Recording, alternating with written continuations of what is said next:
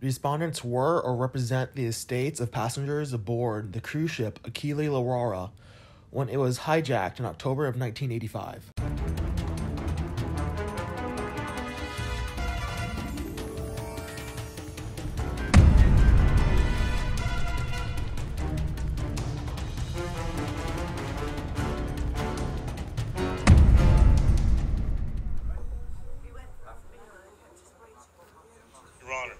Lauro Lines moves to dismiss this case based on the forum selection clause that is printed on each passenger ticket.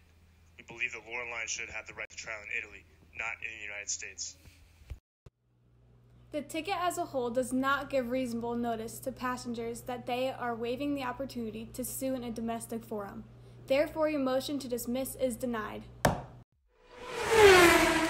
Without moving for certification for immediate appeal pursuant to 28 USC subsection 1292B, defendant sought an appeal to the district court's order. The Court of Appeals for the Second Circuit dismissed the appeal, holding on the grounds that the district court's orders were interlocutory and not appealable under 1291.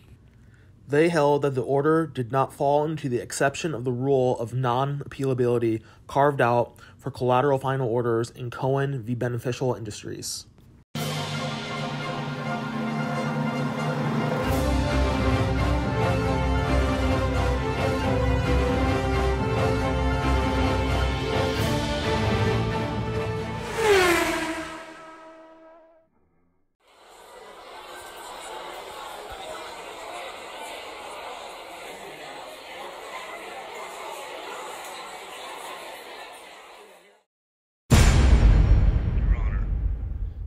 USC Section 1291 permits our immediate appeal of the district court's order, and therefore my client has the right to not stand trial in the United States. An order denying a motion to dismiss on the grounds that a forum selection clause requires a different jurisdiction does not end the litigation, but instead ensures that the litigation will continue. I get that, counsel, but Section 1291 does permit appeal.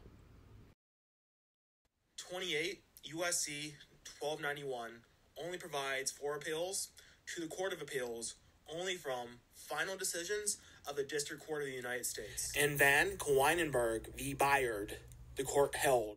Judgment is final when it is a decision by the district court that ends litigation on the merits and leaves nothing for the court to do but execute the judgment. Because of the forum selection clause issue, Section 1291 should only apply in this case under narrow circumstances. The appeal should only be allowed if it satisfies all three elements of the Cohen exception.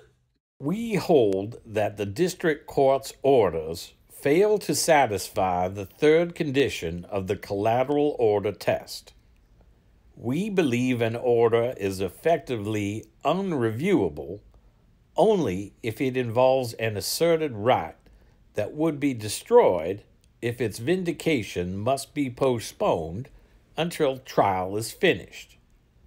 Lauro Lines argued Our contractual forum selection clause gives us the right to trial in Italy and the right to not be sued anywhere else.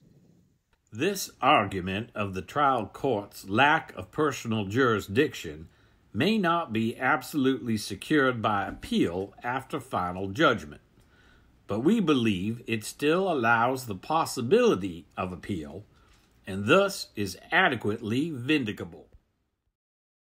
We say there are three conditions needed to determine whether an order falls within the exception of the final judgment rule. However, the first two conditions are not relevant because they would let any case in. What the third condition really means is that the exception to the final judgment rule applies only to cases that are too important to be denied review before standing trial. Amen.